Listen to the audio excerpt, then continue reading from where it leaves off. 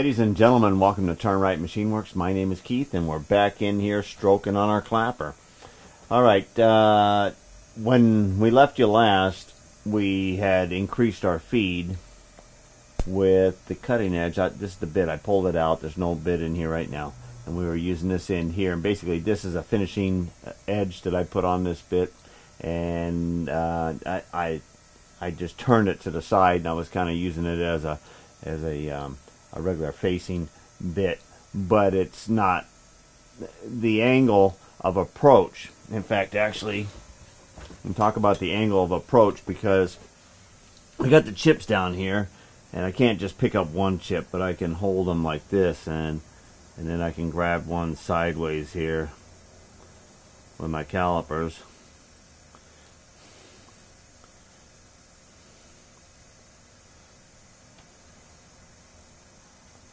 Okay, right there. I picked one up. A hundred thousandths. So we were we're actually cutting a face width of a hundred thousandths, even though we were only trying to go. I forget if it was fifty or a hundred thousand. I mean, fifty or seventy-five thousandths on the depth there. Um, but what I ended up doing is I just raised it up and I went across a couple times, and I I've got a really I I put a really nice finish on the other side. Not not my finish finish that I want to put there, but a nice smooth level cut, uh, just like this without the blem in it. And uh, and here's a look at that. All right. Well, I flipped it over and I kind of did some measurements here and here after a couple more cuts on the part, just taking um, 25 to 30, and then I did one with a like a 10 thousandths depth cut. I went ahead and took my blank and I went over there and I hogged off uh, the end here and dressed this as almost like a turning bit for my lathe with minimum amount of reliefs. When you're working a straight a shaper and you're continually going in that same stroke in that same position there just as if you were doing a constant turning the it, it has to be impact proof as well because you're coming out of the part and going back into the part. So shaper is basically an interrupted cut constantly. Um, so you minimize on all of your clearances behind and underneath. So that's what I've done, and and actually I'm going to hold it up here just so you kind of see the bottom rake to the side. That's that's laying flat on the part. Okay, and and if I was to take it and just hold it there that kind of shows you it's barely barely off of that angle. So I'm going to put this in here so that I barely have enough lead angle and then it doesn't really matter what's behind here. I just made it minimum. It makes everything stronger. If this is not such a pointy point and doesn't have such a great scoop and all of that uh, it, it'll continue. And I'm really surprised. This the bit I could have kept using it the way I was using it and it probably would have machined half of this height off of this thing without me even having to touch this. So this is a really good piece of, uh, it, it, must be cobalt. It, it sharpens up like that. All right, so we're going to get this in here. And we're going to make this as short and stout as possible. Something like that. I'm gonna get a I gotta get a look at it on the end here. And that looks good. I'm gonna sharp I'm gonna I'm gonna sharpen. I'm gonna tighten this up here. And now I'm gonna pivot it. I like that. I'm gonna bring it over and put it close to my part so you can really get a good visual on this.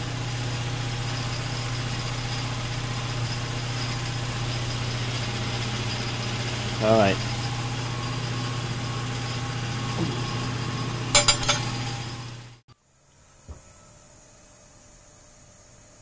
All right, we got the bit in there. Everything's nice and tight. I changed the angle a little bit more aggressive on the clapper clapper box angle so that it comes back comes back away from or towards me. The cut's going to be on the leading side. This is the leading side over here. All right, so it's going to angle back. Kind of gives you a good look at what the bit looks like in there. All right. Let's uh, let's go ahead and touch off now.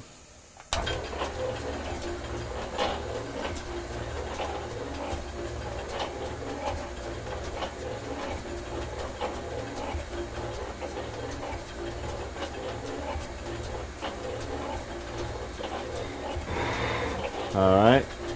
Now we're going to go ahead and feed it over towards me.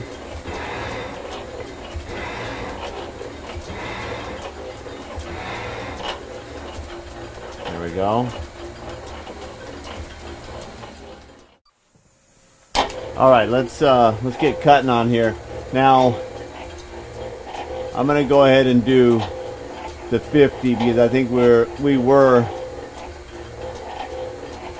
we were doing every bit of 50,000 as far as the depth going and let's see how that acts on here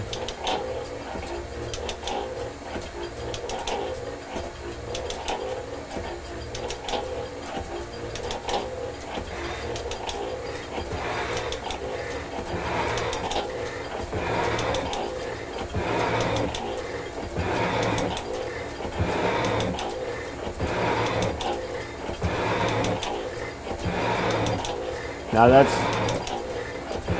a lot less strain on the ram and everything else. That's 50 deep and we're feeding it almost 10 thousandths per stroke.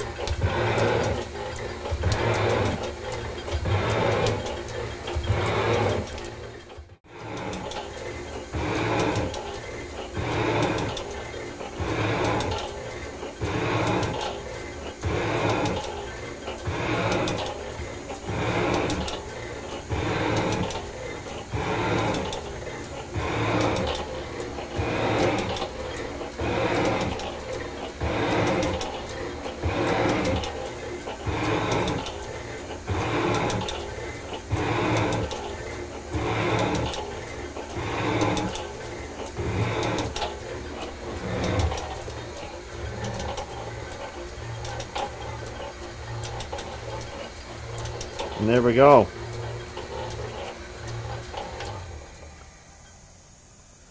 All right, I'm gonna roll it backwards here. Okay.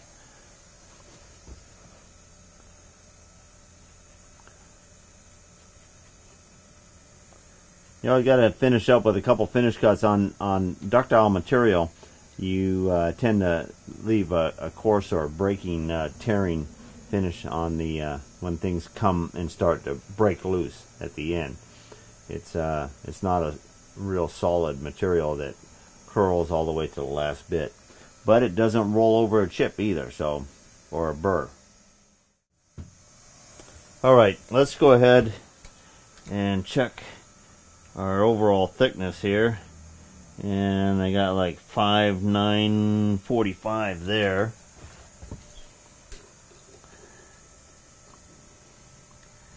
And I got 5, 9, 39 there. So we got about 6 thousandths, 6 thousandths taper in that. That's, um, that's pretty good. Uh, well, for 1908, reworking. Uh, you know, I machined a dovetail on the ram, but I hand lapped it into the housing, and I never did anything with the uh, the knee and stuff. Uh, so, um, yeah. Um, okay, now that six thousands. When we get nitpicky, if we want to, we could put a screw jack under here, and we could we could raise this uh, a couple thousands and pitch it until until we get that straight straightaway cut. Um, so when we get close, I may actually do that. All right, that was a 50 thousandths de depth of cut. And do we want to see if the thing can actually pull more than that? Or are we satisfied with 50 thousandths of cut? You know, we only have, uh, we only have 900 thousandths to take off of this thing. Um, heck, let's see, uh, let's see what it can do, I think.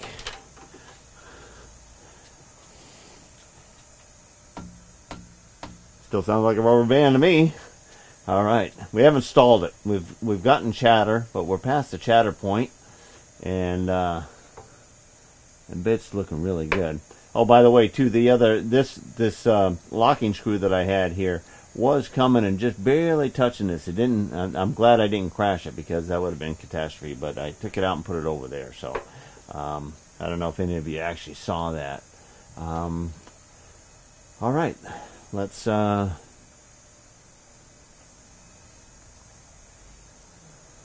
let's bring it in here. I'm just going to control this by uh, 25. There's 50. What's another 25, right? okay, there's uh, there's 75. Now, it may not take the full feed that we were doing. We might have to back off on that but you don't know until you try, right? Okay. Now, that was three on that side of the feed. Okay, and three, it's reading three on there. We may have to back it back down to two, but let's uh, let's see what we got here. I'm going to bring it in by hand here.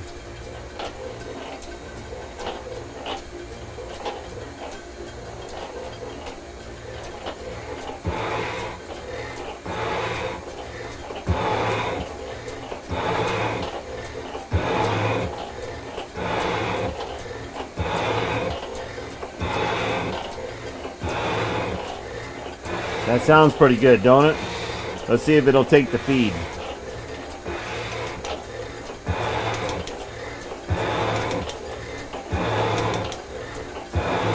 Yes, it will.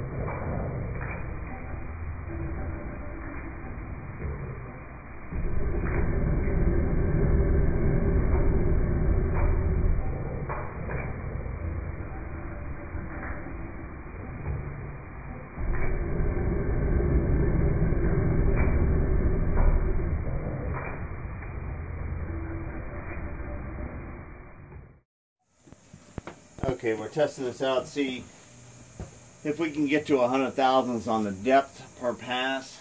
And we're feeding at about ten thousandths on the feed there. So I'm going to ease into it by hand first.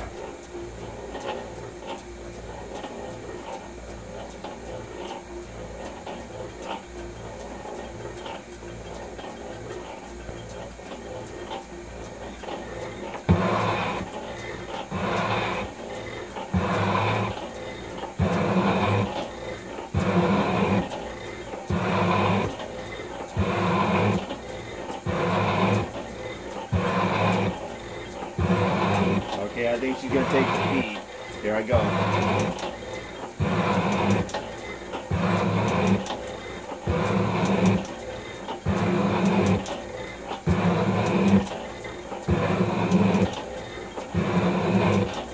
A little bit of slippage on the belt.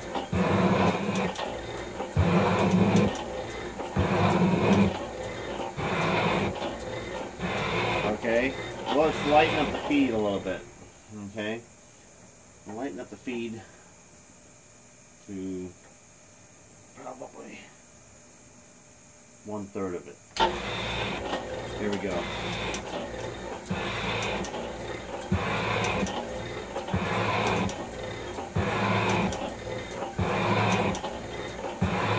Six, six thousand feet, seven thousand feet, hundred thousand feet, and we're not slipping the belt anymore.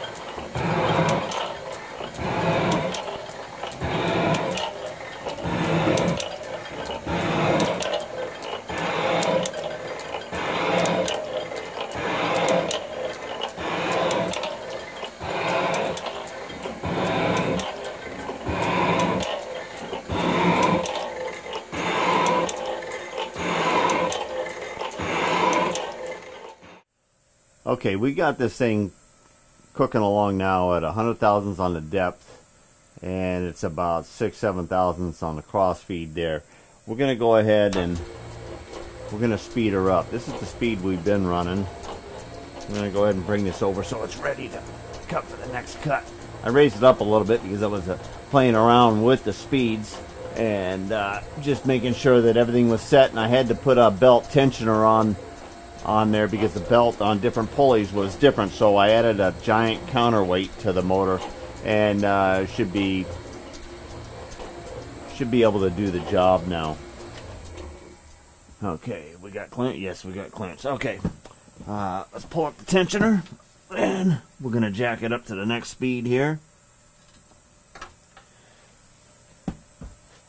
And here we go Okay, now we're starting to hear a little bit of that spur gear from the pinion to uh, the ring. All right, she is all lubed up, ready to go. And we're gonna go ahead and crank in.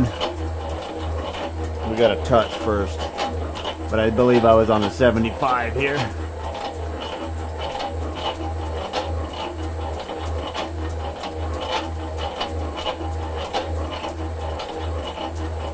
There's 75. Yeah, just dragging right there, okay? All right. Once around, back to the 75. This is a 100,000 dial up here, so it's pretty easy to just do a 100,000. All right, we're going to hand feed this until we touch.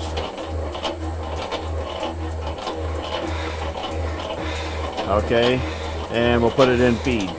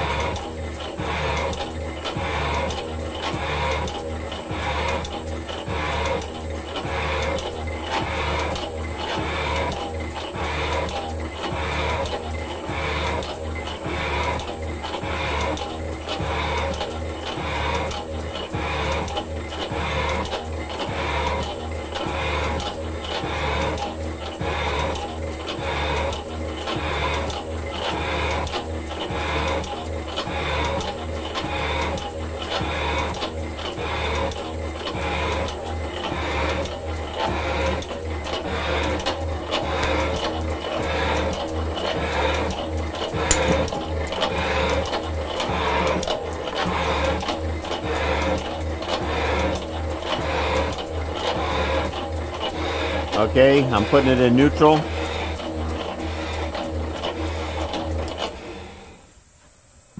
Let's go ahead and bring it on up to the next speed.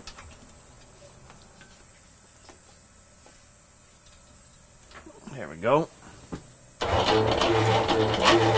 right, here we go. That clapper box now is hopping all the way. But you can hear some of the harmonics now.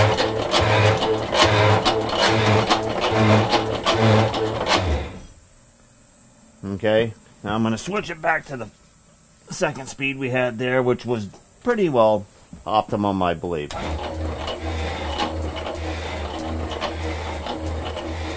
Okay, here we go.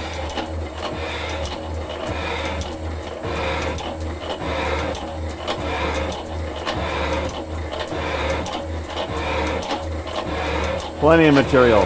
Uh, we got a, another 150 after this cut, come off the width, and then we're ready to go to the next step on this uh, block here.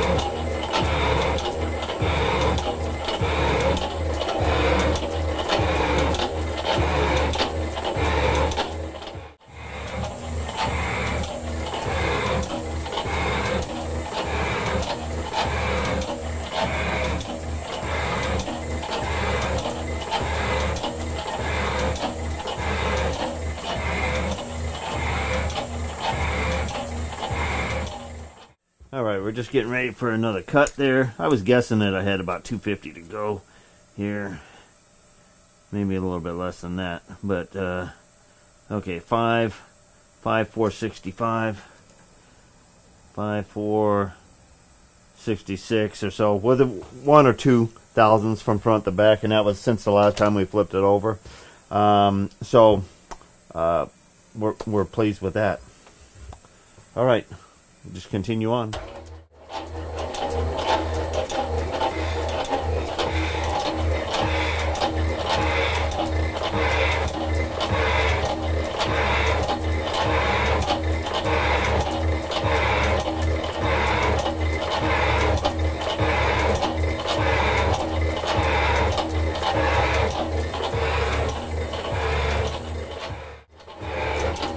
Until next time, get her done.